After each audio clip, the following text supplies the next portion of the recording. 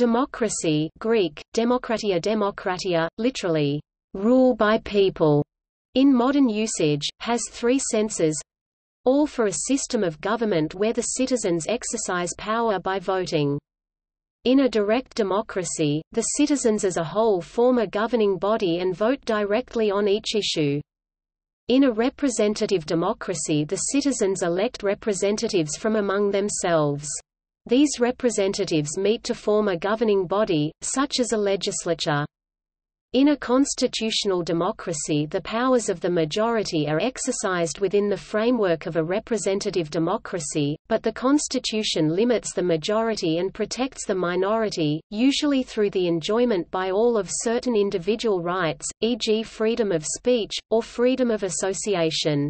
Rule of the majority is sometimes referred to as democracy. Democracy is a system of processing conflicts in which outcomes depend on what participants do, but no single force controls what occurs and its outcomes. The uncertainty of outcomes is inherent in democracy, which makes all forces struggle repeatedly for the realization of their interests, being the devolution of power from a group of people to a set of rules. Western democracy, as distinct from that which existed in pre-modern societies, is generally considered to have originated in city-states such as classical Athens and the Roman Republic, where various schemes and degrees of enfranchisement of the free male population were observed before the form disappeared in the West at the beginning of late antiquity. The English word dates back to the 16th century, from the older Middle French and Middle Latin equivalents. According to American political scientist Larry Diamond, democracy consists of four key elements, a political system for choosing and replacing the government through free and fair elections, the active participation of the people, as citizens, in politics and civic life, protection of the human rights of all citizens, a rule of law, in which the laws and procedures apply equally to all citizens. Todd Landman, nevertheless, draws our attention to the fact that democracy and human rights are two different concepts and that there must be greater specificity in the conceptualization and operationalism of democracy and human rights. The term appeared in the 5th century BC to denote the political systems then existing in Greek city-states, notably Athens, to mean, "...rule of the people", in contrast to aristocracy, aristocratia aristocratia, meaning, rule of an elite. While theoretically these definitions are in opposition, in practice the distinction has been blurred historically. The political system of classical Athens, for example, granted democratic citizenship to free men and excluded slaves and women from political participation. In virtually all democratic governments throughout ancient and modern history, democratic citizenship consisted of an elite class, until full enfranchisement was won for all adult citizens in most modern democracies through the suffrage movements of the 19th and 20th centuries. Democracy contrasts with forms of government where power is either held by an individual, as in an absolute monarchy, or where power is held by a small number of individuals, as in an oligarchy. Nevertheless, these oppositions, inherited from Greek philosophy, are now ambiguous because contemporary governments have mixed democratic, oligarchic and monarchic elements. Karl Popper defined democracy in contrast to dictatorship or tyranny, thus focusing on opportunities for the people to control their leaders and to oust them without the need for a revolution.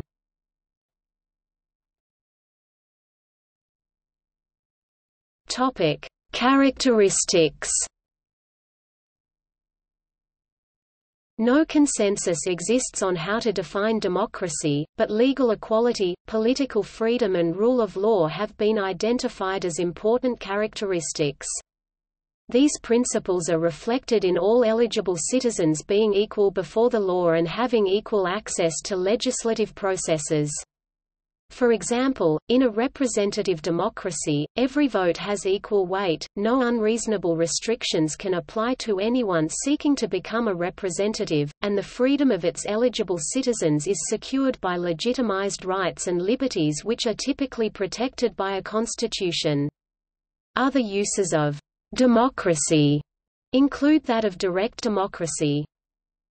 One theory holds that democracy requires three fundamental principles, upward control sovereignty residing at the lowest levels of authority, political equality, and social norms by which individuals and institutions only consider acceptable acts that reflect the first two principles of upward control and political equality. The term, democracy is sometimes used as shorthand for liberal democracy, which is a variant of representative democracy that may include elements such as political pluralism, equality before the law, the right to petition elected officials for redress of grievances, due process, civil liberties, human rights, and elements of civil society outside the government. Roger Scruton argues that democracy alone cannot provide personal and political freedom unless the institutions of civil society are also present. In some countries, notably in the United Kingdom, which originated the Westminster system, the dominant principle is that of parliamentary sovereignty, while maintaining judicial independence. In the United States, separation of powers is often cited as a central attribute. In India, parliamentary sovereignty is subject to the Constitution of India which includes judicial review. Though the term, democracy is typically used in the context of a political state, the principles also are applicable to private organizations. Majority rule is often listed as a characteristic of democracy. Hence, democracy allows for political minorities to be oppressed by the tyranny of the majority, in the absence of legal protections of individual or group rights. An essential part of an ideal representative democracy is competitive elections that are substantively and procedurally fair, i.e., just and equitable. In some countries, freedom of political expression, freedom of speech, freedom of the press, and Internet democracy are considered important to ensure that voters are well informed, enabling them to vote according to their own interests. It has also been suggested that a basic feature of democracy is the capacity of all voters to participate freely and fully in the life of their society. With its emphasis on notions of social contract and the collective will of all the voters, democracy can also be characterized as a form of political collectivism because it is defined as a form of government in which all eligible citizens have an equal say in lawmaking. While representative democracy is sometimes equated with the republican form of government, the term republic classically has encompassed both democracies and aristocracies. Many democracies are constitutional monarchies, such as the United Kingdom.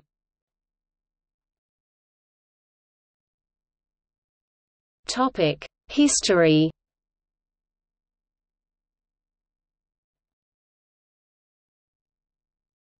Topic Ancient origins The term, democracy first appeared in ancient Greek political and philosophical thought in the city-state of Athens during classical antiquity. The word comes from demos common people", and kratos strength". Led by Cleisthenes, Athenians established what is generally held as the first democracy in 508 to 507 BC. Cleisthenes is referred to as the father of Athenian democracy. Athenian democracy took the form of a direct democracy, and it had two distinguishing features, the random selection of ordinary citizens to fill the few existing government administrative and judicial offices, and a legislative assembly consisting of all Athenian citizens. All eligible citizens were allowed to speak and vote in the assembly, which set the laws of the city-state. However, Athenian citizenship excluded women, slaves, foreigners, metoikoi metoikoi, non-landowners, and men under 20 years of age. The exclusion of large parts of the population from the citizen body is closely related to the ancient understanding of citizenship. In most of antiquity the benefit of citizenship was tied to the obligation to fight war campaigns. Athenian democracy was not only direct in the sense that decisions were made by the assembled people, but also the most direct in the sense that the people through the assembly, boule and courts of law controlled the entire political process and a large proportion of citizens were involved constantly in the public business. Even though the rights of the individual were not secured by the Athenian constitution in the modern sense the ancient Greeks had no word for «rights». The Athenians enjoyed their liberties not in opposition to the government but by living in a city that was not subject to another power and by not being subjects themselves to the rule of another person. Range voting appeared in Sparta as early as 700 BC. The Apella was an assembly of the people, held once a month, in which every male citizen of at least 30 years of age could participate. In the Apella, Spartans elected leaders and cast votes by range voting and shouting. Aristotle called this childish, as compared with the stone voting ballots used by the Athenians. Sparta adopted it because of its simplicity, and to prevent any bias voting, buying, or cheating that was predominant in the early democratic elections. Even though the Roman Republic contributed significantly to many aspects of democracy, only a minority of Romans were citizens with votes in elections for representatives.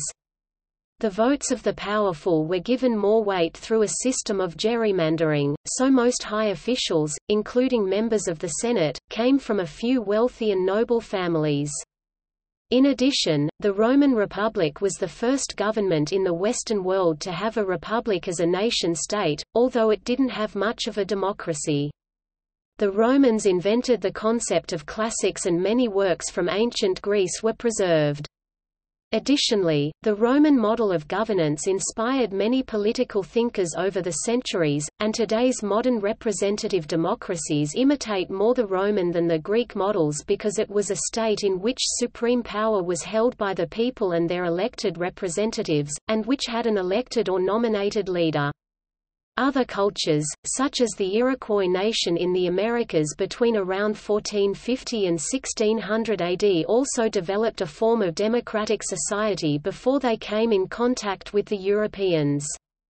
This indicates that forms of democracy may have been invented in other societies around the world.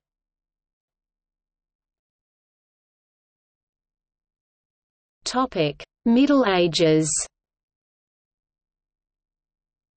During the Middle Ages, there were various systems involving elections or assemblies, although often only involving a small part of the population.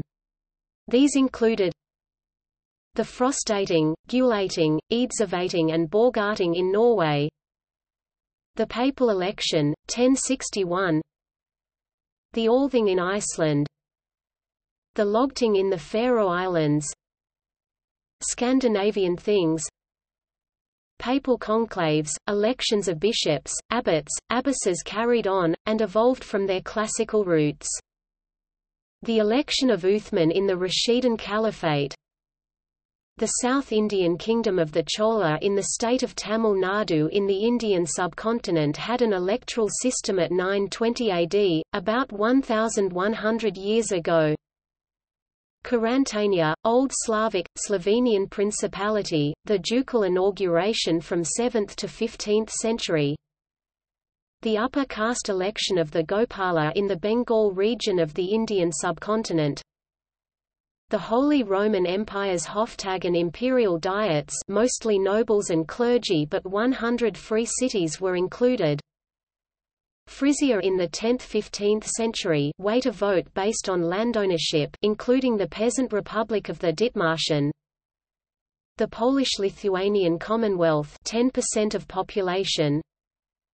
Certain medieval Italian city-states such as Venice, Genoa, Florence, Pisa, Lucca, Amalfi, Siena and San Marino the 200-plus royal and imperial free cities of Central and Northern Europe, including Strasbourg, Cologne, Frankfurt, Lübeck, Hamburg, Bremen, Nuremberg, Bruges, Ghent, Augsburg, Amsterdam, Prague, Krakow, and Gdansk, organized under Stadtrecht or German town law, the Hansetag of the Hanseatic League, the various permanent town leagues or Städtebund such as the Lusatian League, the Decapole, and the Pentapolitana, the Republic of Ragusa now Dubrovnik on the Dalmatian coast in what is today Croatia, the free pirate groups of the Baltic such as the Victual Brothers, the Cortes of Leon, the Tuatha system in early medieval Ireland, the Veche in Novgorod and Pskov republics of medieval Russia. The states in Tyrol and the Old Swiss Confederacy in Switzerland. The autonomous merchant city of Sakai in the 16th century in Japan. Volta Nigeric societies such as Igbo the Mehk-Khell system of the Nakh peoples of the North Caucasus, by which representatives to the Council of Elders for each teip clan were popularly elected by that teip's members. The 10th Sikh Guru Gobind Singh Ji Nanak X established the world's first Sikh democratic republic state ending the aristocracy on day of 1st Vaisakh 1699 and Gurbani as sole constitution of this Sikh republic on the Indian subcontinent. Most regions in medieval Europe were ruled by clergy or feudal lords. The Kouroukan Fouga divided the Mali Empire into ruling clans lineages that were represented at a great assembly called the Gbara. However, the charter made Mali more similar to a constitutional monarchy than a democratic republic.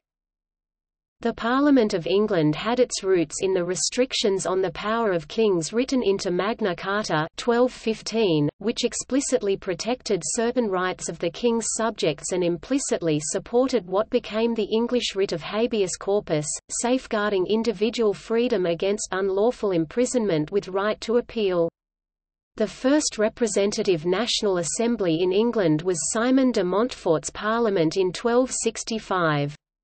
The emergence of petitioning is some of the earliest evidence of Parliament being used as a forum to address the general grievances of ordinary people. However, the power to call Parliament remained at the pleasure of the monarch.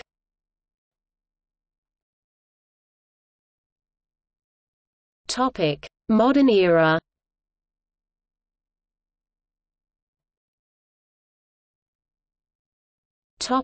Early modern period in 17th-century England, there was renewed interest in Magna Carta. The Parliament of England passed the Petition of Right in 1628 which established certain liberties for subjects. The English Civil War 1642 was fought between the king and an oligarchic but elected parliament, during which the idea of a political party took form with groups debating rights to political representation during the Putney debates of 1647. Subsequently, the Protectorate 1653 and the English Restoration 1660 restored more autocratic rule, although Parliament passed the Habeas Corpus Act in 1679 which strengthened the convention that forbade detention lacking sufficient cause or evidence. After the Glorious Revolution of 1688, the Bill of Rights was enacted in 1689 which codified certain rights and liberties, and is still in effect. The bill set out the requirement for regular elections, rules for freedom of speech in Parliament and limited the power of the monarch, ensuring that, unlike much of Europe at the time, royal absolutism would not prevail. In the Cossack republics of Ukraine in the 16th and 17th centuries, the Cossack hetmanate and Zaporozhian Sich, the holder of the highest post of hetman was elected by the representatives from the country's districts. In North America, representative government began in Jamestown, Virginia, with the election of the House of Burgesses forerunner of the Virginia General Assembly in 1619. English Puritans who migrated from 1620 established colonies in New England whose local governance was democratic and which contributed to the democratic development of the United States. Although these local assemblies had some small amounts of devolved power, the ultimate authority was held by the Crown and the English Parliament. The Puritans Pilgrim Fathers, Baptists, and Quakers who founded these colonies applied the democratic organization of their congregations also to the administration of their communities in worldly matters.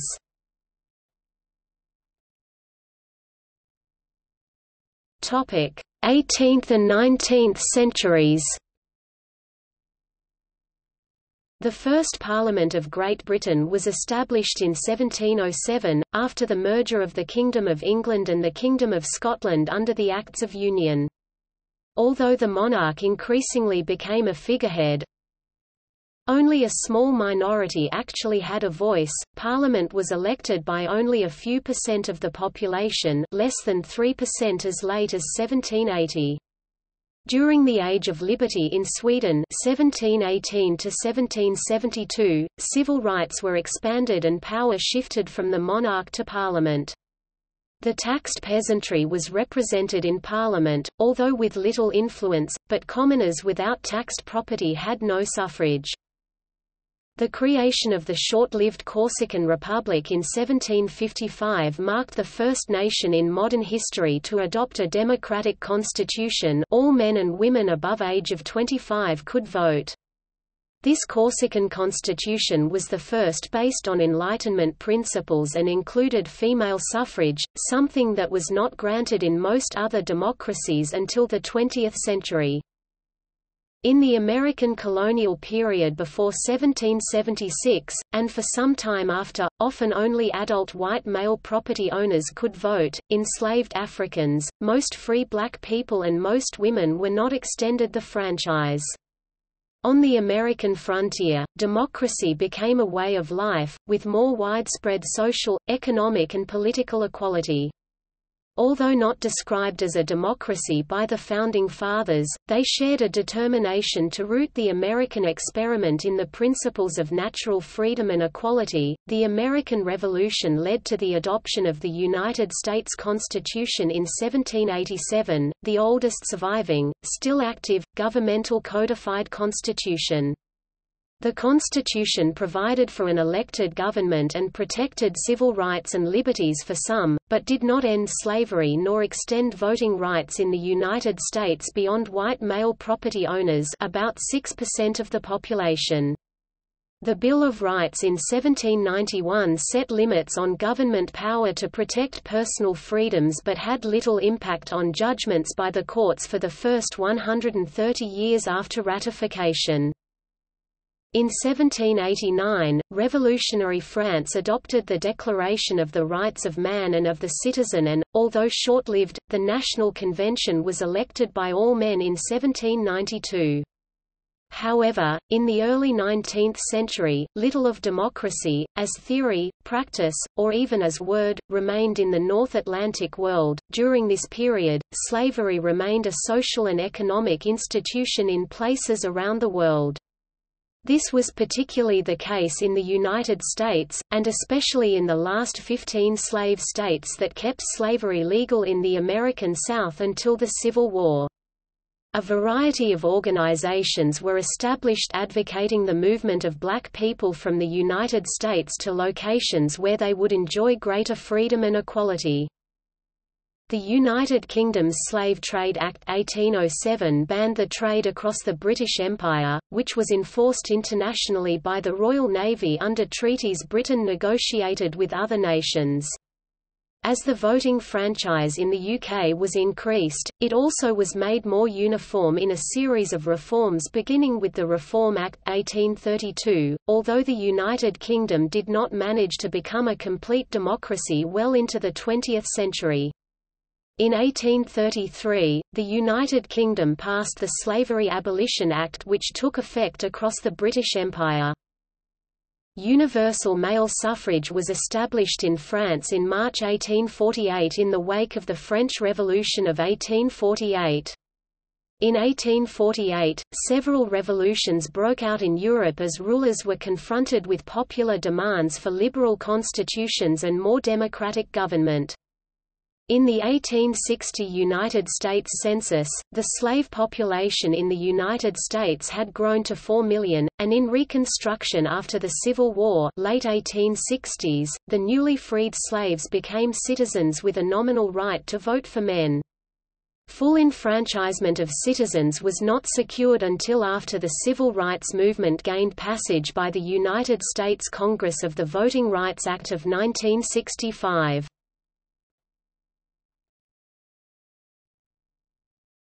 Topic: 20th and 21st centuries. 20th century transitions to liberal democracy have come in successive waves of democracy, variously resulting from wars, revolutions, decolonization, and religious and economic circumstances. Global waves of democratic regression Reversing democratization, have also occurred in the 1920s and 30s, in the 1960s and 1970s, and in the 2010s. World War I and the dissolution of the Ottoman and Austro-Hungarian empires resulted in the creation of new nation-states from Europe, most of them at least nominally democratic. In the 1920s democracy flourished and women's suffrage advanced, but the Great Depression brought disenchantment and most of the countries of Europe, Latin America, and Asia turned to strong man rule or dictatorships. Fascism and dictatorships flourished in Nazi Germany, Italy, Spain and Portugal, as well as non-democratic governments in the Baltics, the Balkans, Brazil, Cuba, China, and Japan, among others. World War II brought a definitive reversal of this trend in Western Europe. The democratization of the American, British, and French sectors of occupied Germany disputed, Austria, Italy, and the occupied Japan served as a model for the later theory of government change. However, most of Eastern Europe, including the Soviet sector of Germany fell into the non-democratic Soviet bloc. The war was followed by decolonization, and again most of the new independent states had nominally democratic constitutions. India emerged as the world's largest democracy and continues to be so. Countries that were once part of the British Empire often adopted the British Westminster system. By 1960, the vast majority of country states were nominally democracies, although most of the world's populations lived in nations that experienced sham elections, and other forms of subterfuge particularly in communist nations and the former colonies, a subsequent wave of democratization brought substantial gains toward true liberal democracy for many nations. Spain, Portugal 1974, and several of the military dictatorships in South America returned to civilian rule in the late 1970s and early 1980s Argentina in 1983 Bolivia, Uruguay in 1984, Brazil in 1985, and Chile in the early 1990s. This was followed by nations in East and South Asia by the mid to late 1980s. Economic malaise in the 1980s, along with resentment of Soviet oppression, contributed to the collapse of the Soviet Union, the associated end of the Cold War, and the democratization and liberalization of the former Eastern Bloc countries. The most successful of the new democracies were those geographically and culturally closest to Western Europe, and they are now members or candidate members of the European Union. In 1986, after the toppling of the most prominent Asian dictatorship, the only democratic state of its kind at the time emerged in the Philippines with the rise of Corazon Aquino, who would later be known as the mother of Asian democracy. The liberal trend spread to some nations in Africa in the 1990s, most prominently in South Africa. Some recent examples of attempts of liberalization include the Indonesian Revolution of 1998, the Bulldozer Revolution in Yugoslavia, the Rose Revolution in Georgia, the Orange Revolution in Ukraine, the Cedar Revolution in Lebanon, the Tulip Revolution in Kyrgyzstan, and the Jasmine Revolution in Tunisia. According to Freedom House, in 2007 there were 123 electoral democracies up from 40 in 1972. According to World Forum on Democracy, electoral democracies now represent 120 of the 192 existing countries and constitute 58.2% of the world's population. At the same time liberal democracies i.e. Countries Freedom House regards as free and respectful of basic human rights and the rule of law are 85 in number and represent 38% of the global population. Most electoral democracies continue to exclude those younger than 18 from voting. The voting age has been lowered to 16 for national elections in a number of countries, including Brazil, Austria, Cuba, and Nicaragua. In California, a 2004 proposal to permit a quarter vote at 14 and a half vote at 16 was ultimately defeated. In 2008, the German parliament proposed but shelved a bill that would grant the vote to each citizen at birth, to be used by a parent until the child claims it for themselves. In 2007 the United Nations declared 15 September the International Day of Democracy. According to Freedom House, starting in 2005, there have been 11 consecutive years in which declines in political rights and civil liberties throughout the world have outnumbered improvements, as populist and nationalist political forces have gained ground everywhere from Poland under the Law and Justice Party to the Philippines under Rodrigo Duterte. In a Freedom House report released in 2018, democracy scores for most countries declined for the 12th consecutive year. The Christian Science Monitor reported that nationalist and populist political ideologies were gaining ground, at the expense of rule of law, in countries like Poland, Turkey and Hungary. For example, in Poland, the president appointed 27 new Supreme Court judges over objections from the European Union. In Turkey, thousands of judges were removed from their positions following a failed coup attempt during a government crackdown.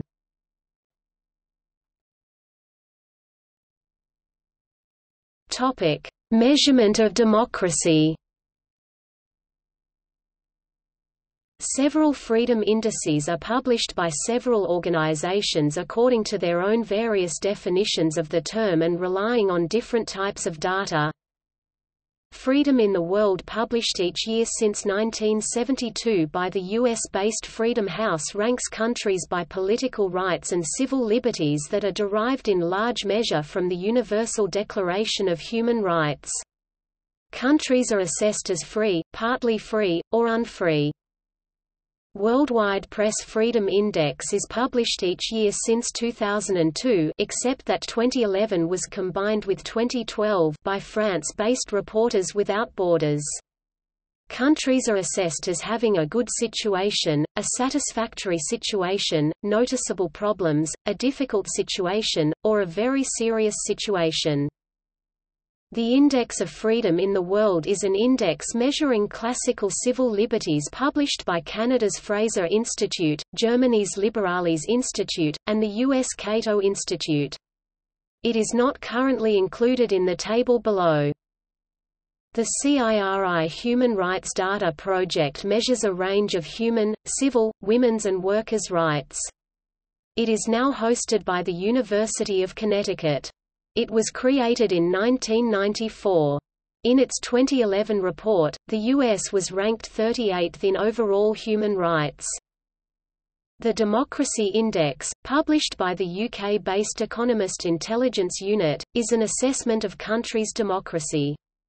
Countries are rated to be either full democracies, flawed democracies, hybrid regimes, or authoritarian regimes. Full democracies, flawed democracies, and hybrid regimes are considered to be democracies, and the authoritarian nations are considered to be dictatorial. The index is based on 60 indicators grouped in five different categories. The US-based Polity Data Series is a widely used data series in political science research. It contains coded annual information on regime authority characteristics and transitions for all independent states with greater than 500,000 total population and covers the years 1800 to 2006. Polity's conclusions about a state's level of democracy are based on an evaluation of that state's elections for competitiveness, openness and level of participation. Data from this series is not currently included in the table below.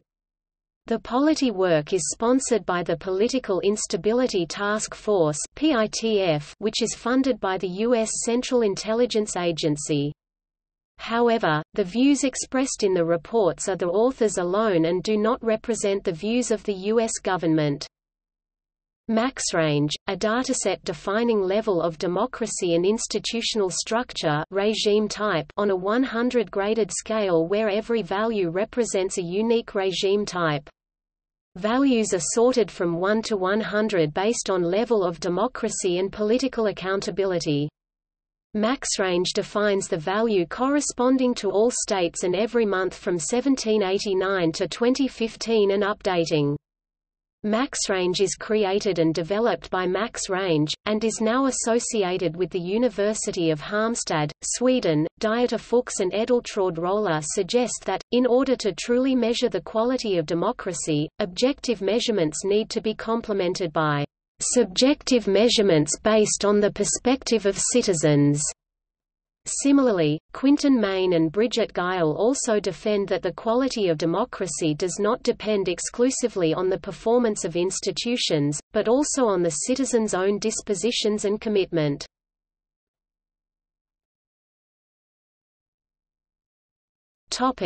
Difficulties in measuring democracy Because democracy is an overarching concept that includes the functioning of diverse institutions which are not easy to measure, strong limitations exist in quantifying and econometrically measuring the potential effects of democracy or its relationship with other phenomena, whether inequality, poverty, education etc. Given the constraints in acquiring reliable data with within-country variation on aspects of democracy, academics have largely studied cross-country variations. Yet variations between democratic institutions are very large across countries which constrains meaningful comparisons using statistical approaches. Since democracy is typically measured aggregately as a macro variable using a single observation for each country and each year, studying democracy faces a range of econometric constraints and is limited to basic correlations. Cross-country comparison of a composite, comprehensive and qualitative concept like democracy may thus not always be, for many purposes, methodologically rigorous or useful.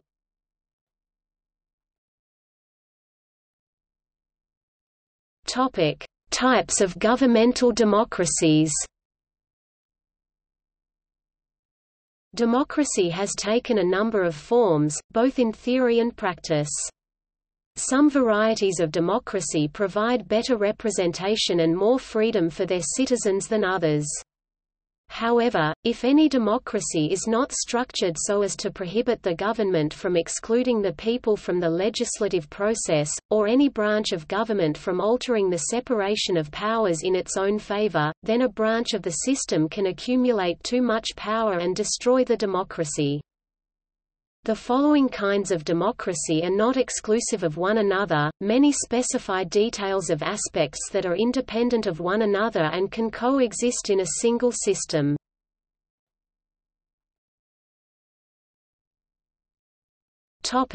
Basic forms Several variants of democracy exist, but there are two basic forms, both of which concern how the whole body of all eligible citizens executes its will. One form of democracy is direct democracy, in which all eligible citizens have active participation in the political decision-making, for example voting on policy initiatives directly. In most modern democracies, the whole body of eligible citizens remain the sovereign power but political power is exercised indirectly through elected representatives, this is called a representative democracy.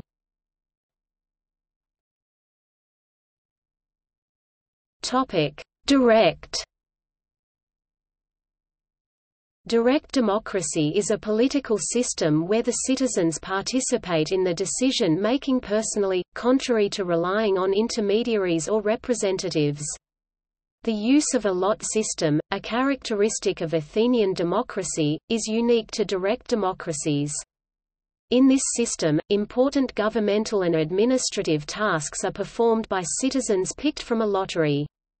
A direct democracy gives the voting population the power to change constitutional laws, put forth initiatives, referendums and suggestions for laws, give binding orders to elective officials, such as revoking them before the end of their elected term, or initiating a lawsuit for breaking a campaign promise. Within modern day representative governments, certain electoral tools like referendums, citizens' initiatives, and recall elections are referred to as forms of direct democracy. However, some advocates of direct democracy argue for local assemblies of face-to-face -face discussion. Direct democracy as a government system currently exists in the Swiss cantons of Appenzell Innerrhoden and Glarus, the rebel Zapatista autonomous municipalities, communities affiliated with the CIPORFM, the Bolivian city councils of FEJUVE, and Kurdish cantons of Rojava.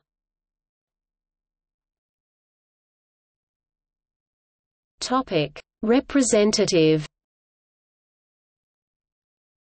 Representative democracy involves the election of government officials by the people being represented. If the head of state is also democratically elected then it is called a democratic republic. The most common mechanisms involve election of the candidate with a majority or a plurality of the votes.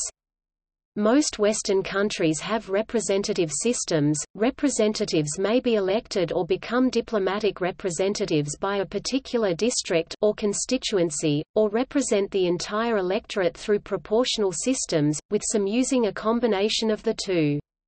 Some representative democracies also incorporate elements of direct democracy, such as referendums. A characteristic of representative democracy is that while the representatives are elected by the people to act in the people's interest, they retain the freedom to exercise their own judgment as how best to do so. Such reasons have driven criticism upon representative democracy, pointing out the contradictions of representation mechanisms with democracy.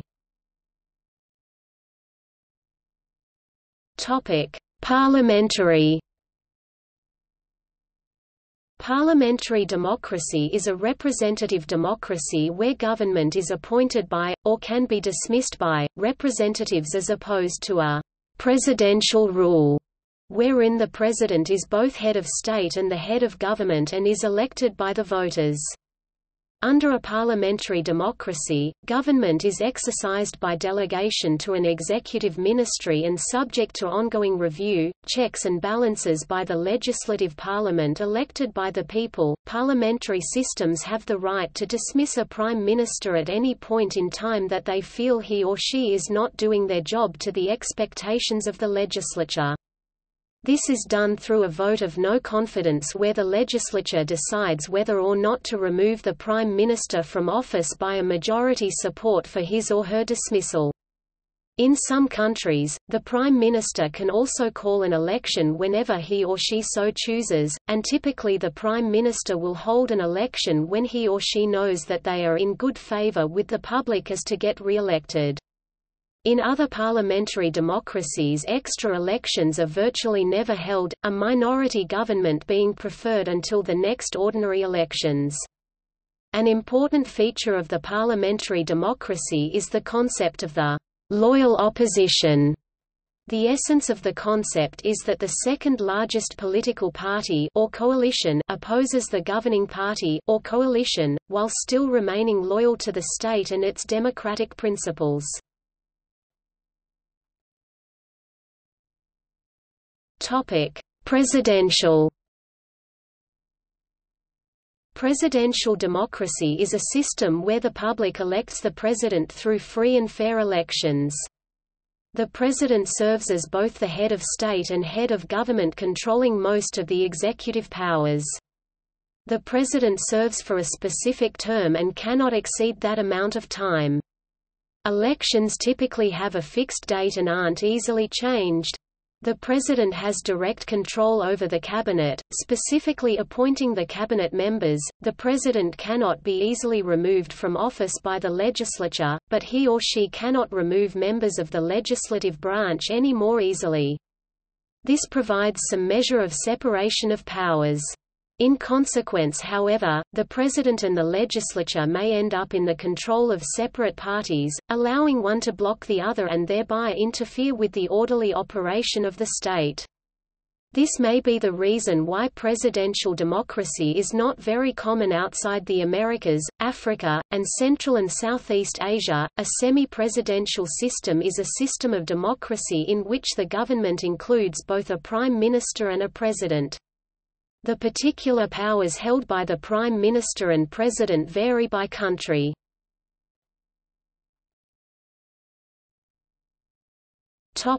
Hybrid or semi-direct Some modern democracies that are predominantly representative in nature also heavily rely upon forms of political action that are directly democratic. These democracies, which combine elements of representative democracy and direct democracy, are termed hybrid democracies, semi-direct democracies or participatory democracies.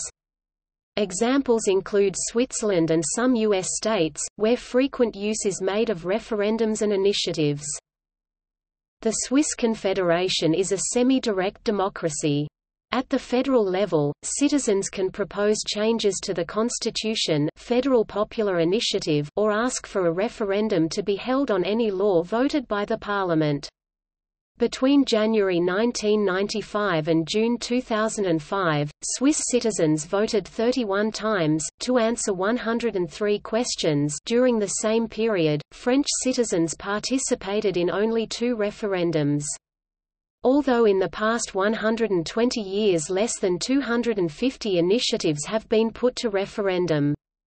The populace has been conservative, approving only about 10% of the initiatives put before them. In addition, they have often opted for a version of the initiative rewritten by government. In the United States, no mechanisms of direct democracy exists at the federal level, but over half of the states and many localities provide for citizen-sponsored ballot initiatives, also called ballot measures, ballot questions, or propositions, and the vast majority of states allow for referendums.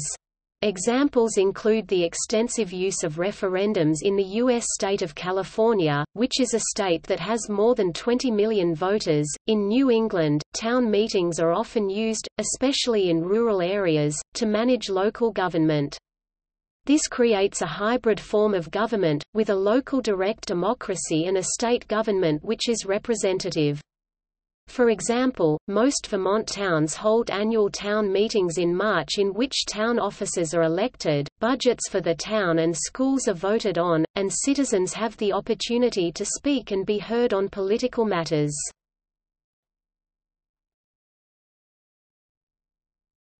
Topic: Variants.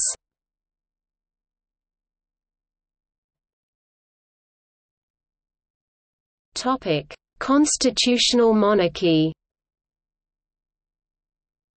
Many countries such as the United Kingdom, Spain, the Netherlands, Belgium, Scandinavian countries, Thailand, Japan and Bhutan turned powerful monarchs into constitutional monarchs with limited or, often gradually, merely symbolic roles. For example, in the predecessor states to the United Kingdom, constitutional monarchy began to emerge and has continued uninterrupted since the Glorious Revolution of 1688 and passage of the Bill of Rights 1689. In other countries, the monarchy was abolished along with the aristocratic system as in France, China, Russia, Germany, Austria, Hungary, Italy, Greece and Egypt. An elected president, with or without significant powers, became the head of state in these countries. Elite upper houses of legislatures, which often had lifetime or hereditary tenure, were common in many nations. Over time, these either had their powers limited as with the British House of Lords or else became elective and remained powerful as with the Australian Senate.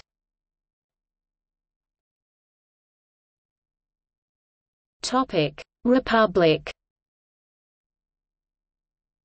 The term republic has many different meanings, but today often refers to a representative democracy with an elected head of state, such as a president, serving for a limited term, in contrast to states with a hereditary monarch as a head of state, even if these states also are representative democracies with an elected or appointed head of government such as a prime minister. The founding fathers of the United States rarely praised and often criticized democracy, which in their time tended to to specifically mean direct democracy, often without the protection of a constitution enshrining basic rights. James Madison argued, especially in the Federalist No. 10, that what distinguished a direct democracy from a republic was that the former became weaker as it got larger and suffered more violently from the effects of faction, whereas a republic could get stronger as it got larger and combats faction by its very structure. What was critical to American values, John Adams insisted, was that the government be bound by fixed laws, which the people have a voice in making, and a right to defend. As Benjamin Franklin was exiting after writing the U.S. Constitution, a woman asked him, Well, doctor, what have we got? A republic or a monarchy? He replied, A republic. If you can keep it.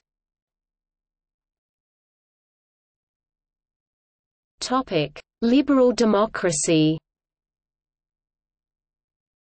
A liberal democracy is a representative democracy in which the ability of the elected representatives to exercise decision-making power is subject to the rule of law, and moderated by a constitution or laws that emphasize the protection of the rights and freedoms of individuals, and which places constraints on the leaders and on the extent to which the will of the majority can be exercised against the rights of minorities see civil liberties. In a liberal democracy, it is possible for some large-scale decisions to emerge from the many individual decisions that citizens are free to make. In other words, citizens can vote with their feet or vote with their dollars, resulting in significant informal government by the masses that exercises many powers associated with formal government elsewhere. Topic: Socialist. Socialist thought has several different views on democracy. Social democracy, democratic socialism, and the dictatorship of the proletariat usually exercised through Soviet democracy are some examples. Many democratic socialists and social democrats believe in a form of participatory, industrial, economic and or workplace democracy combined with a representative democracy. Within Marxist orthodoxy there is a hostility to what is commonly called liberal democracy, which they simply refer to as parliamentary democracy because of its often centralized nature. Because of their desire to eliminate the political elitism they see in capitalism, Marxists, Leninists and Trotskyists believe in direct democracy implemented through a system of communes which are sometimes called Soviets. This system ultimately manifests itself as council democracy and begins with workplace democracy. Democracy cannot consist solely of elections that are nearly always fictitious and managed by rich landowners and professional politicians.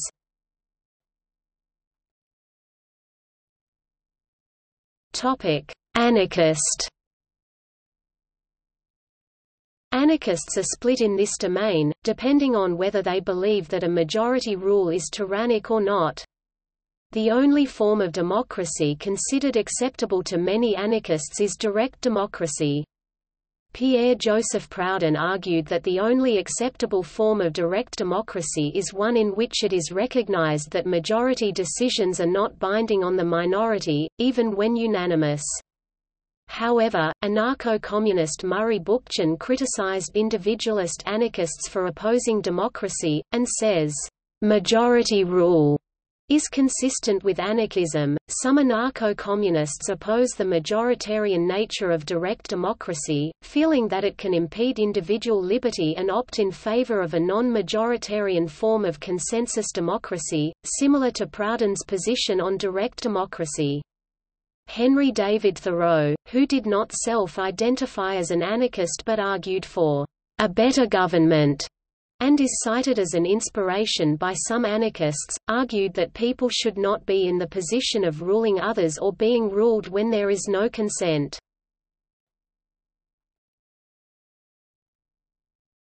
Sortition Sometimes called, "...democracy without elections", sortition chooses decision-makers via a random process. The intention is that those chosen will be representative of the opinions and interests of the people at large, and be more fair and impartial than an elected official. The technique was in widespread use in Athenian democracy and Renaissance Florence and is still used in modern jury selection.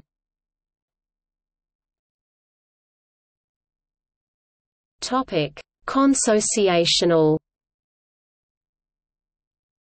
a consociational democracy allows for simultaneous majority votes in two or more ethno-religious constituencies, and policies are enacted only if they gain majority support from both or all of them.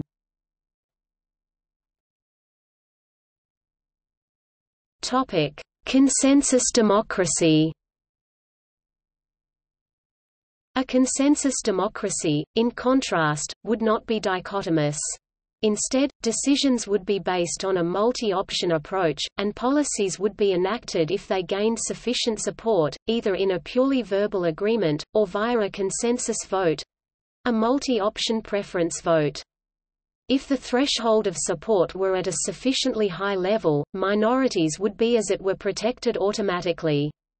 Furthermore, any voting would be ethno-color blind. Topic: Supranational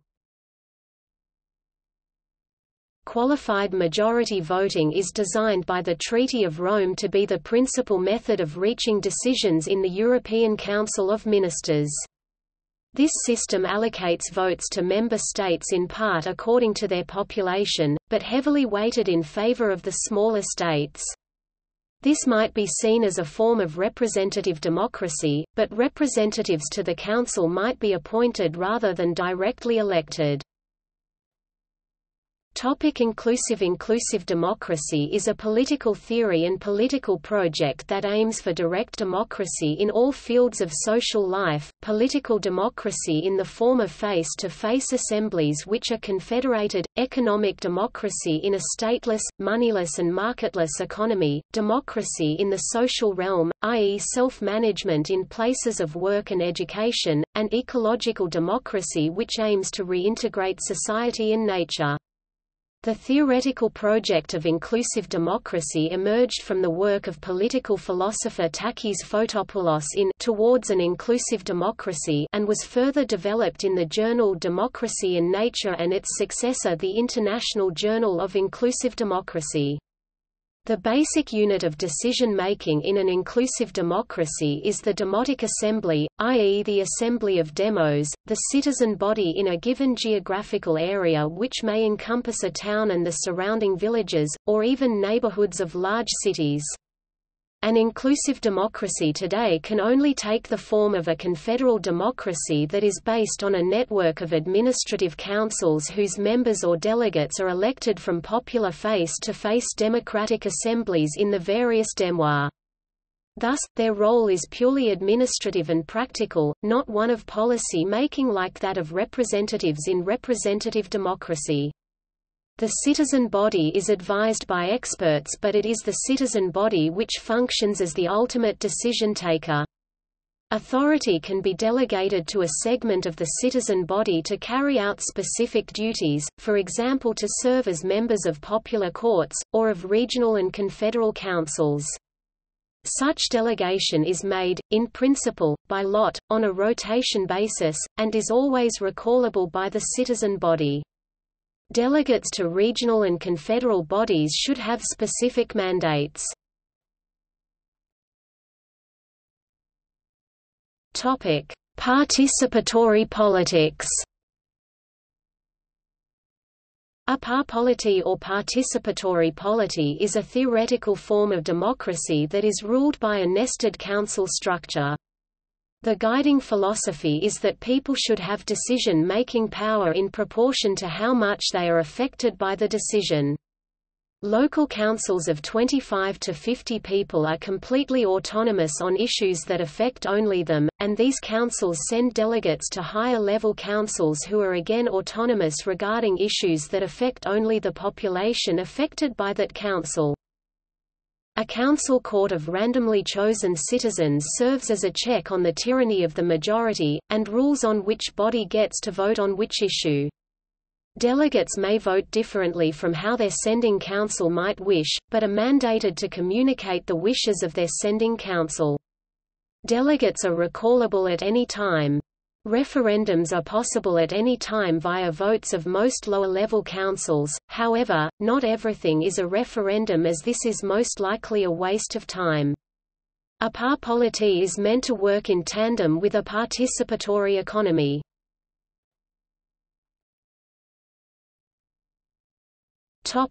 Cosmopolitan. Cosmopolitan democracy, also known as global democracy or world federalism, is a political system in which democracy is implemented on a global scale, either directly or through representatives. An important justification for this kind of system is that the decisions made in national or regional democracies often affect people outside the constituency who, by definition, cannot vote. By contrast, in a cosmopolitan democracy, the people who are affected by decisions also have a say in them. According to its supporters, any attempt to solve global problems is undemocratic without some form of cosmopolitan democracy. The general principle of cosmopolitan democracy is to expand some or all of the values and norms of democracy, including the rule of law, the non-violent resolution of conflicts, and equality among citizens, beyond the limits of the state. To be fully implemented, this would require reforming existing international organizations, e.g. the United Nations, as well as the creation of new institutions such as a World Parliament, which ideally would enhance public control over, and accountability in, international politics. Cosmopolitan democracy has been promoted, among others, by physicist Albert Einstein, writer Kurt Vonnegut, columnist George Monbiot, and professors David Held and Daniele Archibugi. The creation of the International Criminal Court in 2003 was seen as a major step forward by many supporters of this type of cosmopolitan democracy.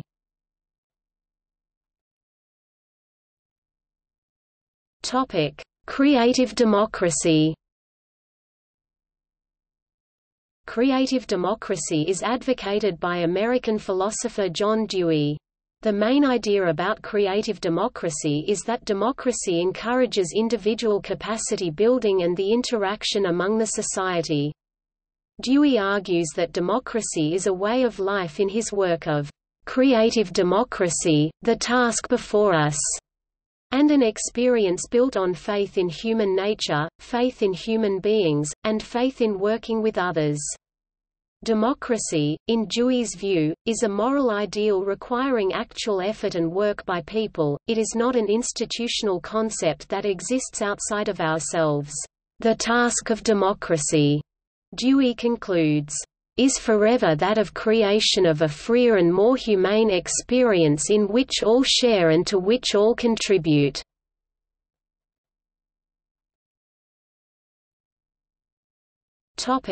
Guided democracy Guided democracy is a form of democracy which incorporates regular popular elections, but which often carefully guides the choices offered to the electorate in a manner which may reduce the ability of the electorate to truly determine the type of government exercised over them. Such democracies typically have only one central authority which is often not subject to meaningful public review by any other governmental authority.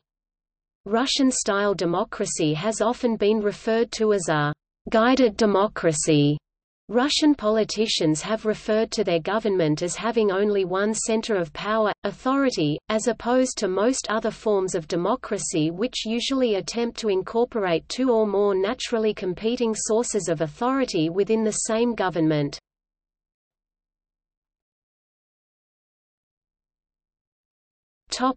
Non-governmental democracy Aside from the public sphere, similar democratic principles and mechanisms of voting and representation have been used to govern other kinds of groups. Many non-governmental organizations decide policy and leadership by voting. Most trade unions and cooperatives are governed by democratic elections. Corporations are controlled by shareholders on the principle of one share, one vote, sometimes supplemented by workplace democracy. Amitai Etzioni has postulated a system that fuses elements of democracy with Sharia law, termed Islamocracy.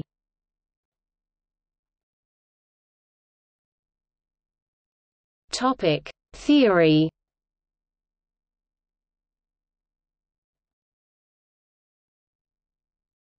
Topic: Aristotle.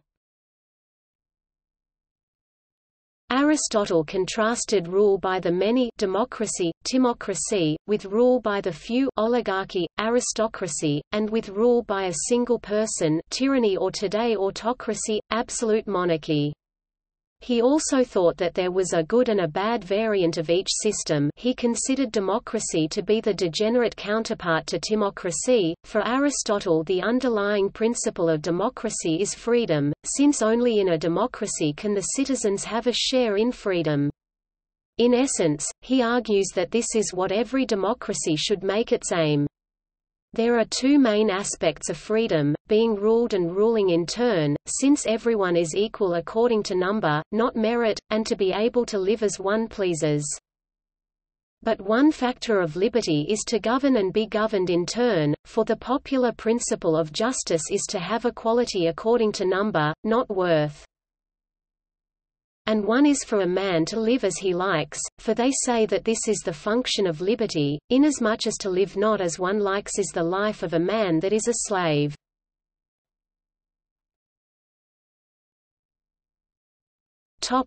Early Republican theory A common view among early and Renaissance Republican theorists was that democracy could only survive in small political communities. Heeding the lessons of the Roman Republic's shift to monarchism as it grew larger, these Republican theorists held that the expansion of territory and population inevitably led to tyranny. Democracy was therefore highly fragile and rare historically, as it could only survive in small political units, which due to their size were vulnerable to conquest by larger political units. Montesquieu famously said, if a republic is small, it is destroyed by an outside force, if it is large, it is destroyed by an internal vice. Rousseau asserted, it is, therefore the natural property of small states to be governed as a republic, of middling ones to be subject to a monarch, and of large empires to be swayed by a despotic prince.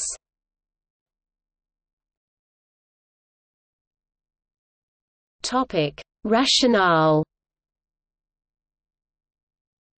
Among modern political theorists, there are three contending conceptions of the fundamental rationale for democracy, aggregative democracy, deliberative democracy, and radical democracy.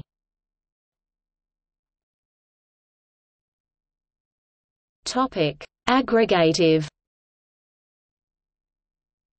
the theory of aggregative democracy claims that the aim of the democratic processes is to solicit citizens' preferences and aggregate them together to determine what social policies society should adopt.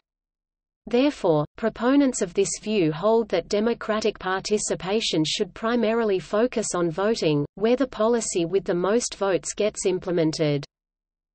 Different variants of aggregative democracy exist.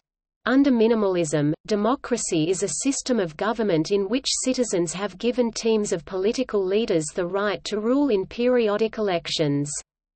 According to this minimalist conception, citizens cannot and should not rule Because, for example, on most issues, most of the time, they have no clear views or their views are not well-founded. Joseph Schumpeter articulated this view most famously in his book Capitalism, Socialism, and Democracy. Contemporary proponents of minimalism include William H. Riker, Adam Przeworski, Richard Posner. According to the theory of direct democracy, on the other hand, citizens should vote directly, not through their representatives, on legislative proposals. Proponents of direct democracy offer varied reasons to support this view. Political activity can be valuable in itself, it socializes and educates citizens, and popular participation can check powerful elites. Most importantly, citizens do not really rule themselves unless they directly decide laws and policies.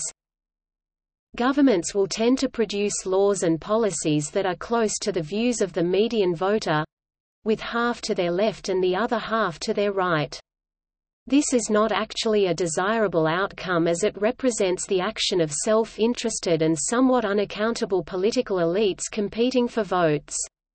Anthony Downs suggests that ideological political parties are necessary to act as a mediating broker between individual and governments. Downs laid out this view in his 1957 book An Economic Theory of Democracy. Robert A. Dahl argues that the fundamental democratic principle is that, when it comes to binding collective decisions, each person in a political community is entitled to have his, her interests be given equal consideration not necessarily that all people are equally satisfied by the collective decision.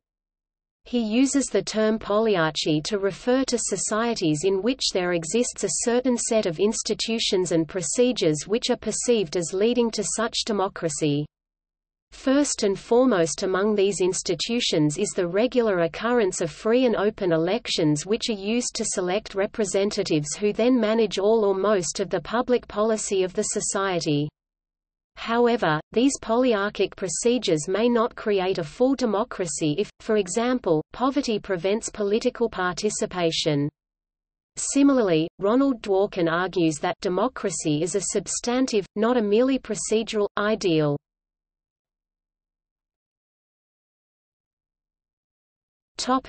Deliberative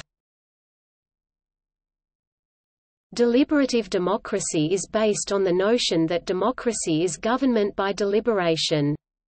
Unlike aggregative democracy, deliberative democracy holds that, for a democratic decision to be legitimate, it must be preceded by authentic deliberation, not merely the aggregation of preferences that occurs in voting. Authentic deliberation is deliberation among decision-makers that is free from distortions of unequal political power, such as power a decision-maker obtained through economic wealth or the support of interest groups. If the decision-makers cannot reach consensus after authentically deliberating on a proposal, then they vote on the proposal using a form of majority rule. Many theorists is discussing the conception of deliberative democracy, considering specially the thought of Jürgen Habermas.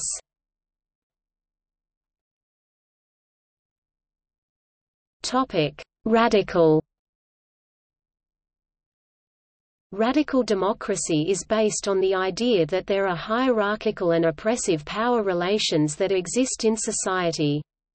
Democracy's role is to make visible and challenge those relations by allowing for difference, dissent and antagonisms in decision-making processes.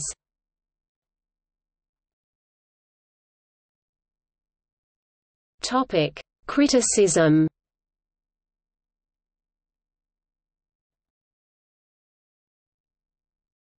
Topic: Inefficiencies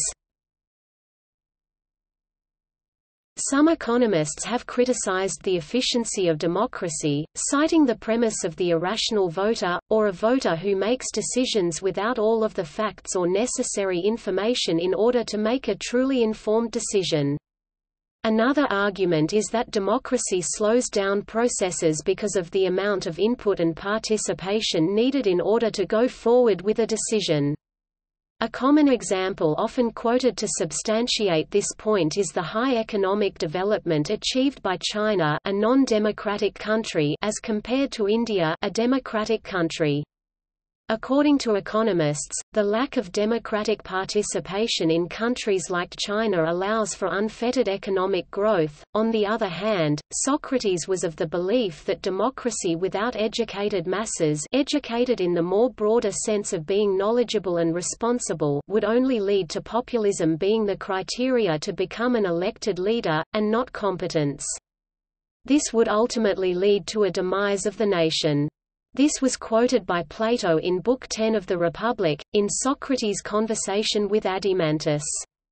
Socrates was of the opinion that the right to vote must not be an indiscriminate right for example by birth or citizenship, but must be given only to people who thought sufficiently of their choice.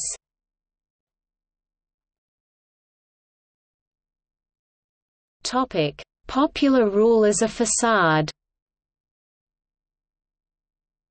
The 20th-century Italian thinkers Vilfredo Pareto and Gaetano Mosca independently argued that democracy was illusory, and served only to mask the reality of elite rule.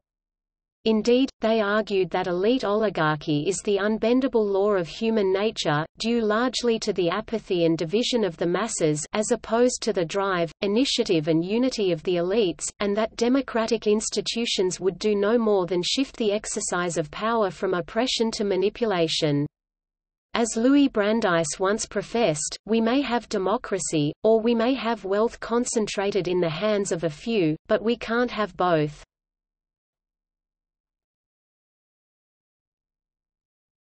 Topic: Mob rule.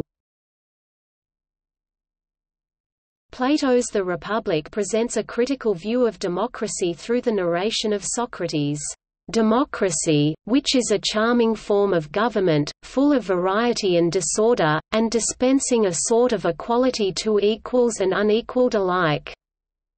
In his work, Plato lists five forms of government from best to worst.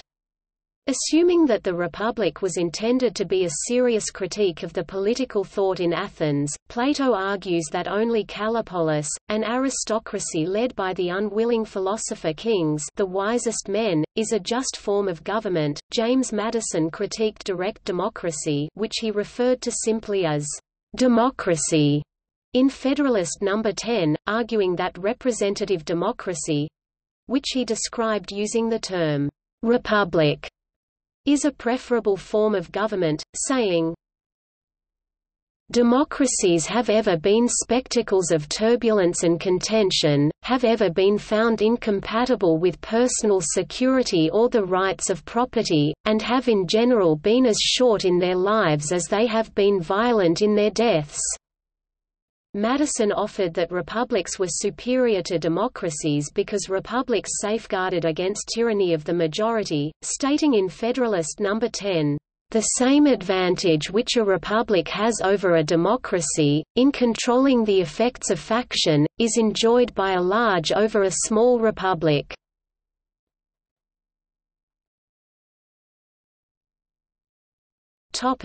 Political instability More recently, democracy is criticized for not offering enough political stability. As governments are frequently elected on and off there tends to be frequent changes in the policies of democratic countries both domestically and internationally. Even if a political party maintains power, vociferous, headline-grabbing protests and harsh criticism from the popular media are often enough to force sudden, unexpected political change. Frequent policy changes with regard to business and immigration are likely to deter investment and so hinder economic growth. For this reason, many people have put forward the idea that democracy is undesirable for a developing country in which economic growth and the reduction of poverty are top priorities. This opportunist alliance not only has the handicap of having to cater to too many ideologically opposing factions, but it is usually short lived since any perceived or actual imbalance in the treatment of coalition partners, or changes to leadership in the coalition partners themselves, can very easily usually result in the coalition partner withdrawing its support from the government. Biased media has been accused of causing political instability, resulting in the obstruction of democracy, rather than its promotion.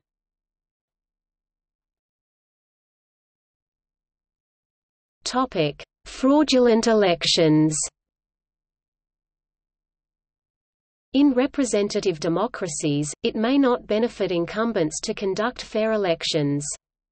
A study showed that incumbents who rig elections stay in office 2.5 times as long as those who permit fair elections. Democracies in countries with high per capita income have been found to be less prone to violence, but in countries with low incomes the tendency is the reverse.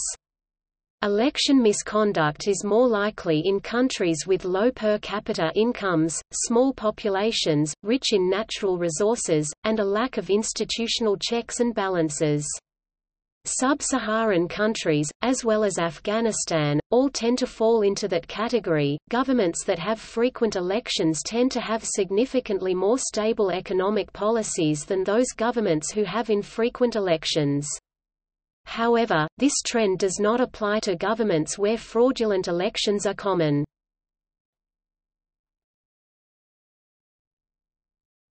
Topic: Opposition. Democracy in modern times has almost always faced opposition from the previously existing government, and many times it has faced opposition from social elites. The implementation of a democratic government within a non-democratic state is typically brought about by democratic revolution. Post-Enlightenment ideologies such as fascism, Nazism, communism and neo-fundamentalism oppose democracy on different grounds, generally citing that the concept of democracy as a constant process is flawed and detrimental to a preferable course of development.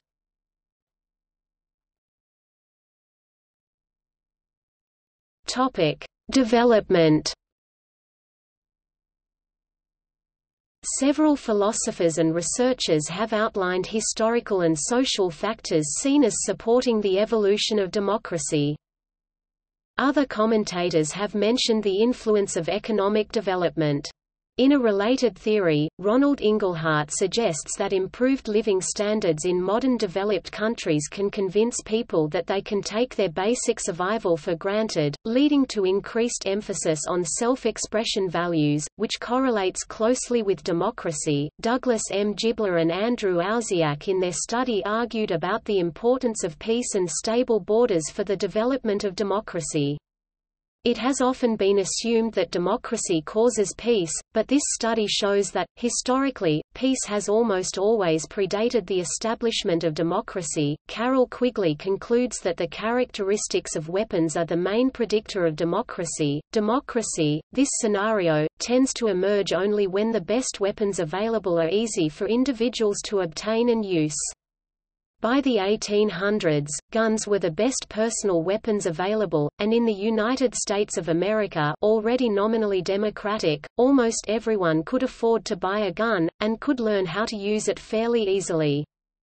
Governments couldn't do any better, it became the age of mass armies of citizen soldiers with guns similarly, Periclean Greece was an age of the citizen soldier and democracy. Other theories stressed the relevance of education and of human capital, and within them of cognitive ability to increasing tolerance, rationality, political literacy and participation.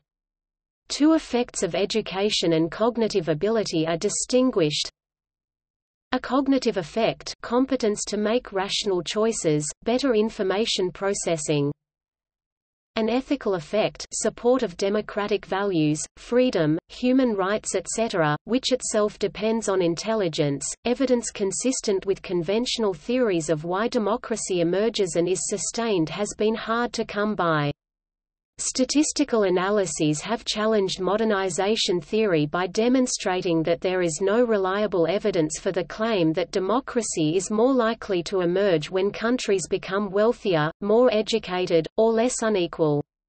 Neither is there convincing evidence that increased reliance on oil revenues prevents democratization, despite a vast theoretical literature on the resource curse that asserts that oil revenues sever the link between citizen taxation and government accountability, seen as the key to representative democracy. The lack of evidence for these conventional theories of democratization have led researchers to search for the deep determinants of contemporary political institutions, be they geographical or demographic. More inclusive institutions lead to democracy because as people gain more power, they are able to demand more from the elites, who in turn have to concede more things to keep their position. This virtuous circle may end up in democracy. An example of this is the disease environment. Places with different mortality rates had different populations and productivity levels around the world. For example, in Africa, the tsetse fly, which afflicts humans and livestock, reduced the ability of Africans to plow the land. This made Africa less settled. As a consequence, political power was less concentrated.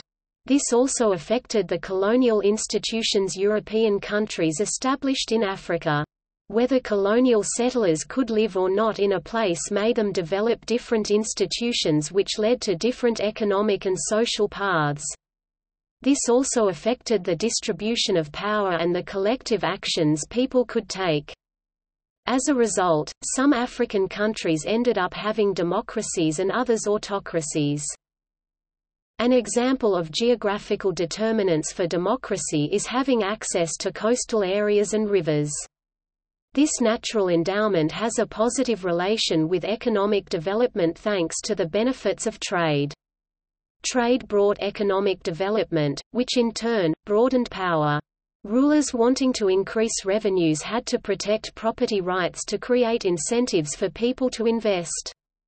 As more people had more power, more concessions had to be made by the ruler and in many places this process led to democracy.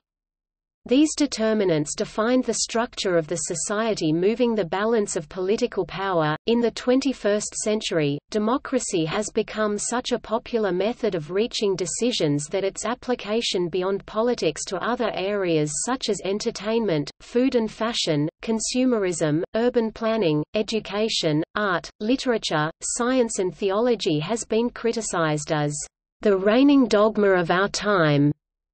The argument suggests that applying a populist or market-driven approach to art and literature for example, means that innovative creative work goes unpublished or unproduced.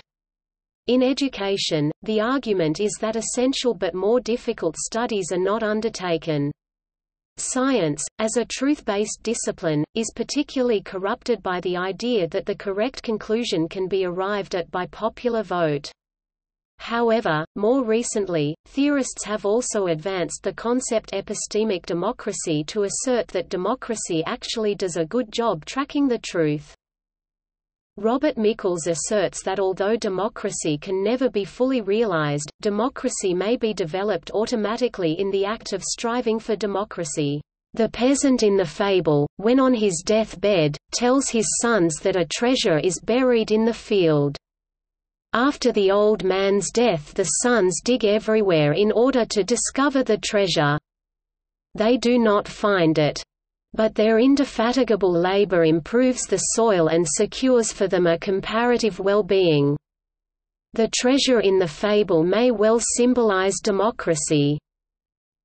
Dr. Harald Wydra, in his book Communism and the Emergence of Democracy 2007, maintains that the development of democracy should not be viewed as a purely procedural or as a static concept but rather as an ongoing process of meaning formation drawing on Claude Lefort's idea of the empty place of power, that power emanates from the people but is the power of nobody. He remarks that democracy is reverence to a symbolic mythical authority, as in reality, there is no such thing as the people or demos. Democratic political figures are not supreme rulers but rather temporary guardians of an empty place. Any claim to substance such as the collective good, the public interest or the will of the nation is subject to the competitive struggle and times of for gaining the authority of office and government.